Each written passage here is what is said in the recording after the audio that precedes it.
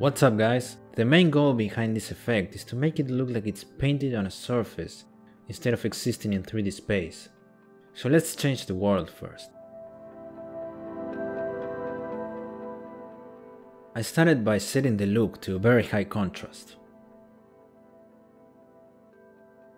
Now we have to add a paper texture to the world. The link for this one is in the description. We want it to always look the same, so objects look painted on top of it. So to get that effect, let's add a texture coordinate node and use the window coordinates. You can also use a mapping node to move it around. I'm also going to desaturate it a bit and fiddle around with the contrast using the curves node. Now, we don't want the paper messing around with our lighting, so we need to disable it for everything except the camera. We'll use the old light path trick for this, mixing the paper with a black color using the camera ray socket. Now we have one color for the lighting and another for what the camera sees. We'll use this texture again when we make the object's material, so let's put it in a node group.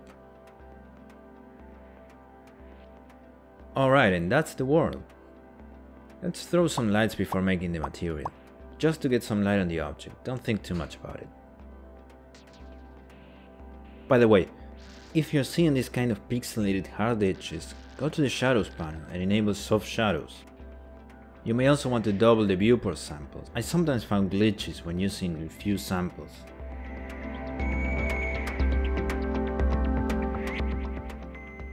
Alright, material time. We're going to work this the same way we would do a watercolor painting, from light to dark. That means we let the paper show through the light areas and cover the shadows and edges to suggest the form.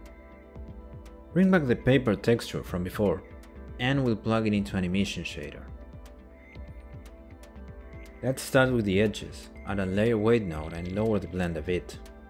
Now we have to distort this to make it look like paint, we have to make a vector that we can plug into the normal socket of the layer weight. Add a noise node for each axis, a combine vector node and texture coordinates.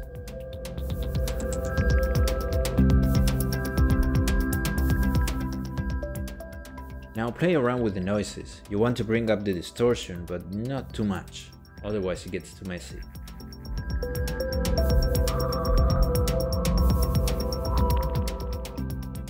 We need to get the shape of the object back to make edges, so let's a geometry node and add the normals with a vector math node. I also want to control the intensity of this effect, so let's drop some math nodes and set them to multiply. Then add a value node to control the amount to multiply.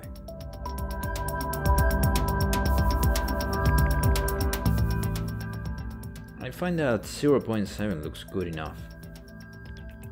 There's one more thing left to do here. I think it looks better when paint seems to flow around. And we can use the window coordinates to get that effect. Let's add them in the same way we did before.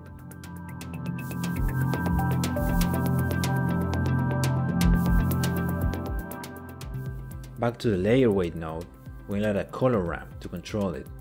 Set it to B-spline to make it smooth. Now the trick to get a watercolor effect is to make the transitions between colors zigzag between dark and bright to make the borders look wet. I got this trick from Hayden Lander's watercolor shader in the Unity forums. Now let's add another color ramp set to constant to add harder edges.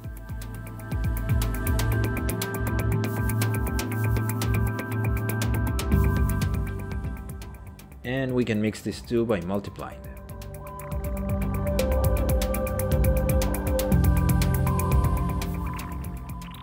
Alright, let's get the lighting information now. Bring back the principled shader and plug the painterly normals in there. Let's also add a shader to RGB node so we can convert the shader result into an image and plug it into a color ramp. This is the core of this effect. Just like before, we want to jump between dark and light. But this time, we'll have more color stops and packed tighter you might also have to zoom in real close for this. And it might be a bit different depending on the lights in your scene.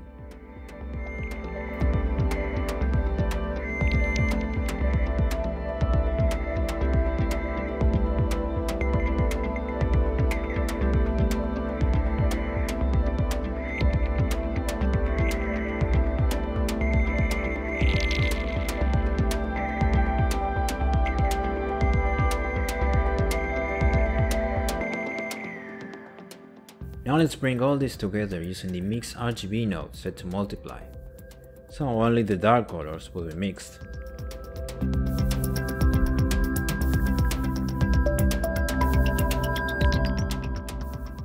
Time to add some color to complete this effect. Add another color ramp in the principled shader area and set it to B-spline to make it smooth. Pick some colors suitable for your model and play with some hue variation besides value. But don't go too dark either, subtle is better.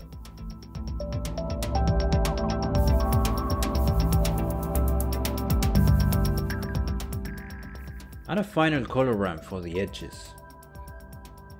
This one has to be even more subtle than before, so the hard edges don't stand out too much.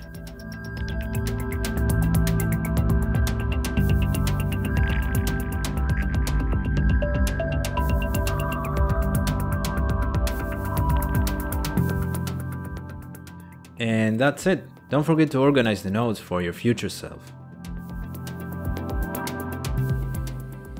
Hope you enjoyed this one. Link to the blend file is available in the description. Don't forget to like and subscribe for more cool stuff. See you in the next one guys!